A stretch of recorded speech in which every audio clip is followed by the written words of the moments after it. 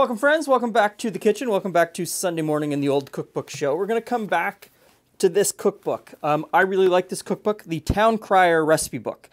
300 lucky, low cost, prize winning recipes. Price 50 cents. Um, sent in by a viewer. Thank you very much for sending us this book. Um, published 1938, so end of the Depression, just before World War II starts, um, and it is put together by the Town Crier Family Flour Company, or the Midland Flour Milling Company of Kansas City, Missouri. Um, they are recipes that are culled from uh, recipe contests and then tested, tested, tested, and put in this book. And so, um, an incredible book of recipes. The recipe we're going to do today, let me find it here, is called applesauce cookies. Um, I like a really good cookie. I like applesauce. I like a spice cookie. Let's make applesauce cookies. So we're going to start out by creaming the butter. And I'll get the butter into the stand mixer. There we go.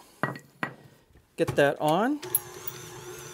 Now, the recipe has later on two add-ins, uh, nuts and raisins.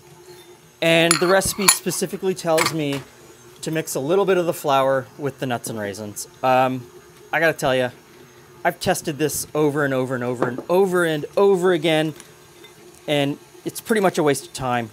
This does not affect whether the add-ins, the raisins, the nuts, whatever, sink to the bottom.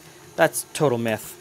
Um, for some things, though, uh, that are really sticky, like peel, like candied peel, it can keep those from clumping together by putting flour on them. They don't stick together, so they do get distributed more. But for the most part, flour, not flour, there's a whole lot of other things going on in a cake batter specifically um, that could cause the fruit to either fall or not fall to the bottom. Anyway, that's my little rant. That's still creaming together. So the butter's pretty soft. Let's get the sugar in there and we'll cream together the sugar and the butter. And while that's creaming together, we'll deal with the dry ingredients. So I have the flour, baking soda, cinnamon, cloves, and some nutmeg. Now, um, a common comment I see in the uh, in the comment section below the videos is someone will say, "I really love that recipe, but you had me right up until you put cloves in, or cinnamon, or nutmeg, or whatever spice it is that we're putting into the cake or the cookies or whatever." You know you can leave it out, right? If you don't like cloves, don't put them in. Substitute something else. If you think the rest of the cookie seems like a really great idea and you'd love to have it, but you don't like one of the spicing ingredients, one of the flavoring ingredients, leave it out. It's really not that difficult. Don't overthink it. Exchange it for something that you do like. So we'll mix that together. Okay, so rereading the recipe, I realize I was supposed to put the soda in the applesauce. It'll be okay. It'll be okay.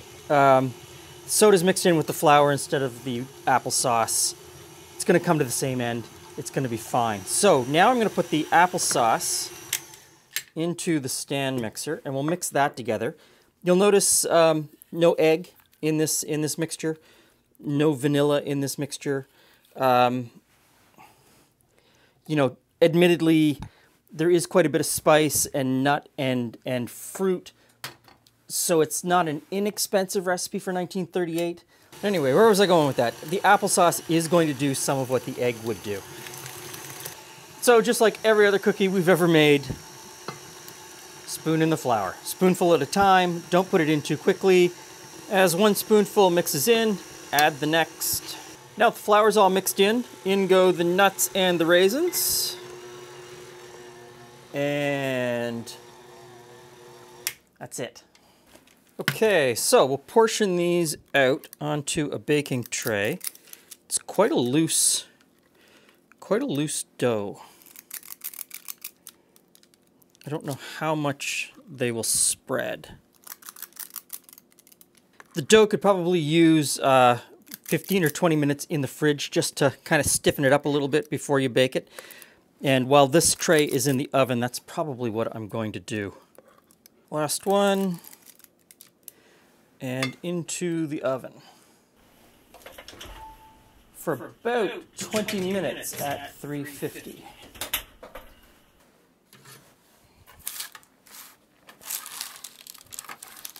Hey, friends. Hey, Glen. Hey, Jules. Applesauce cookies. Applesauce cookies. That sounds good. I'm Yeah. in. Sorry, I was So- staring at watching what you were doing. I was wondering what, what you know, you got some nice. What is that? Is that applesauce? Or caramelized applesauce. Oh, that'd be really good. Oh, I'm a little bit jealous a, now. a little bit there on that I'll, one. I'll pick that one later Okay. then. I'll look for one that has some. Wow, caramelized applesauce. It's giving me ideas. That's what we need, right, Glen? Having more ideas? So, these are eggless. okay. Um, the applesauce, I guess, takes that up and, and adds all the moisture to it. So, As you can see, I keep hovering, waiting for the clue that says it's okay for me to taste them. What's inside? Ooh. Hmm. nuts and spices and raisins and applesauce. It's not a crisp cookie. No, it's a soft spice cookie. It's a soft, soft spice cookie. Yeah. It's nice though. Mm-hmm. There's a nice, nice set of spices in there. And the applesauce keeps it nice and moist. Mm-hmm. More like little cakes than, than what in North America we would now call a cookie. Oh, those are really good. I like those. All right, Glen approved. So, this is a really good cookie. Mm-hmm. Change out the spicing a little bit if you want to. Um, Mm. Make it into make it into something a little bit different. Mm-hmm. Thanks for stopping by. See you again soon.